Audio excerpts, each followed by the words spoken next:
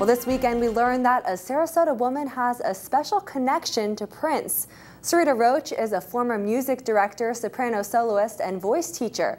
She was born in West Virginia and has spent her whole life performing and singing.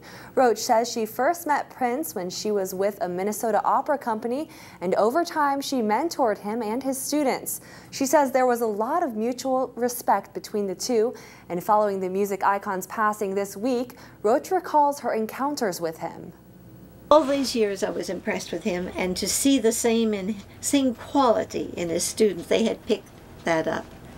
By watching him rehearse by watching him perfect by watching him never negatively criticizing himself soul searching as to how to correct everything he didn't approve of with himself Roach says Prince's dedication and hard work is what made him such a great artist.